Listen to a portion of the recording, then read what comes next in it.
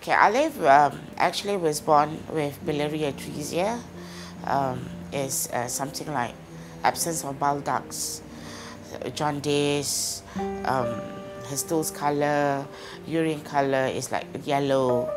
Um, so he went for Kasai operation at the age of three months, but unfortunately it was failed. Uh, he'd undergone for liver transplant at the age of 13 months. Um, I still remember that he was the first one in Singapore who waited for one day in a waiting list, and he got it the next day. So after the liver transplant, I thought that everything is over, but actually it's not. Uh, his life is like a roller coaster. He has so many complications that I myself not prepared for the complication. Um, he went through so many episodes of like after one another other complication till he died. So he struggled for like after transplant for like 14 years.